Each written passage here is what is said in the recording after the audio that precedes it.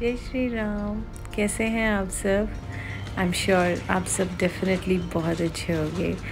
तो जैसे कि आपको पता है कि मेरे पास बहुत सारे प्लांट्स हैं और मैं उनको ग्रो करती हूँ नॉर्मल ग्रो बैग्स में, जैसे कि प्लास्टिक की पॉलीथिनस में या आशीर्वाद आटे के या आटे के किसी भी पैकिंग में जो प्लास्टिक बैग्स आते हैं या फिर चावल या धान के कट्टों में।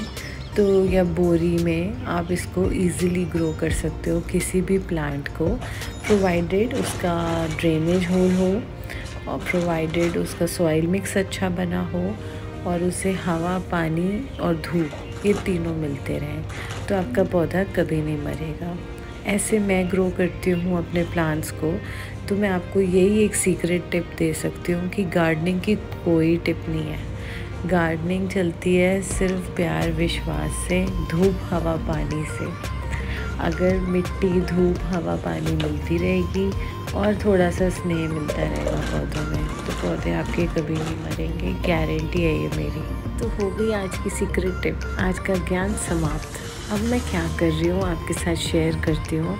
ये जो गार्डनिंग चैनल है, इसमें मैं ज़्यादा टिप्स नहीं देती। ये मेरे एक्सपीरियंसेस हैं जो मैं आपके साथ डे टू डे लाइफ में शेयर करती हूँ। जो आज तक मैंने गार्डनिंग सीखी है अपनी मदर से, वो लेगेसी मैं आगे बढ़ा रही हूँ।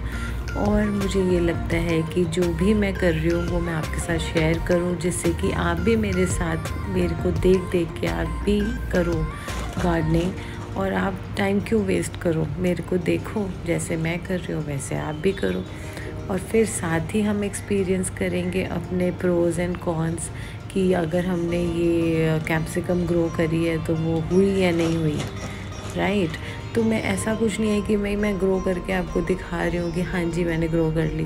नहीं, मैं आपको एक एक प्रोसेस एक एक स्टेप पे अपने साथ लेके चलना चाहती हूँ। क्योंकि मैं कोई प्रोफेशनल हूँ नहीं, मैंने बॉटनी की पढ़ाई नहीं करी है तो मैं ये नहीं कह सकती जो मैं कर रही हूँ हंड्रेड परसेंट ठीक है। लेकिन जो मैं कर रही हूँ वो ठीक है या नहीं है, वो हम देखेंगे ना, साथ में इंजॉय करेंगे ना, वो हम साथ में जिएँगे ना, वो सारे मोमेंट्स गार्डनिंग की जर्नी को हम साथ में इंजॉय क्यों ना करें? है ना? तो मैंने जो सीखा अपनी मदर से, वो मैं आगे बढ़ा रही हूँ और मेरे को लगता है कि हम सबको गार्डनिंग ज़रूर करनी चाहिए, चाहे हमारी बैल्कनी छोटी हो या बड़ी। जैसे कि अभी आपने देखा कि मैं कनेर का पौधा लेके आई हूँ, इसको मैं रिपोर्ट कर रही हूँ। और ये मैंने बहुत ही इजीली निकाल लिया गमले में से। तो ये जो स्किल है ना, इस पर मुझे ना खुद पे इतना प्राउड होता है कि ये मैं कर लेती हूँ बहुत अच्छे से। और बहुत सारे लोग ना इसको बहुत एग्जैजरेट करते हैं कि भाई हमने रिपोर्ट करा है।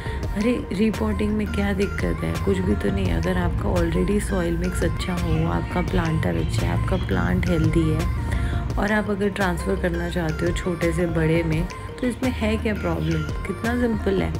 जैसे कि अभी मेरा कनेर का प्लांट था इसके ना पत्ते सूख गए थे ड्राई हो रहे थे। मैं सोच रही थी, पता नहीं क्या बात है कि ये क्यों इतने सूख रहे हैं? जैसे कि मेरी पिछली वीडियो की भी मैंने क्लिप ऊपर डाली हुई है, आप देख सकते हो।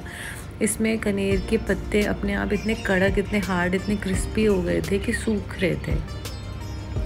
तो मुझे लगा कि हो सकता है इसमें पानी प्रॉपर रूट्स में ना जा रहा हो। तो ये सोच के ना मेरा दिल बड़े दिनों से विचलित था, बड़ा बेचैन था, मुझे लग रहा था मैं जल्दी से इसके लिए कुछ ऐसा करूँ। तो हम आप ये देख सकते हो कितनी सारी इसकी रूट्स हैं। अब इन रूट्स को मैंने खुरपी से हल्का कर दिया है थोड़ा सा हाथ से हो नहीं रही थी और जो पुरानी सूखी डंडियाँ उनको मैं तोड़ रही हूँ, जहाँ डंडी आपकी सॉफ्ट हो मतलब वहाँ से वो हरी है। वहाँ से वो ताज़ी हो सकती है और जहाँ वो क्रिस्प और हार्ड है मतलब वो सूखी है, उसमें कुछ जान नहीं है, पानी नहीं है उसमें उसमें फ्लूड नहीं है, वो सूख चुकी है तो उसको मैंने हटाया और मैंने इसकी थोड़ी सी जड़ें हल्की करी, मिट्टी थोड़ी लूज़ करी। अब मैं इसको ये जो बोरी कट्टा जो है, इसमें ऑलरेडी मेरा वर्मी कंपोस्ट काउडर मैन्योर का मिक्सचर है और इसमें मैंने थोड़ी सी ना हल्दी भी ऑलरेडी डाल के रखी हुई है। जिससे कि कीड़े वगैरह ना लगें। आप चाहे तो हल्दी और दालचीनी भी डाल सकते हो। मैं मोस्ट ऑफ़ द टाइम हल्दी, दालचीनी डाल के रखती हूँ अपने सॉइल मिक्स में। तो इसको मैं अब अच्छे से, पीछे मैंने, नीचे मैंने मिट्टी रखी, ऊपर से मैंने पौधा रख दिया और फिर से मैंने मिट्टी रख दी।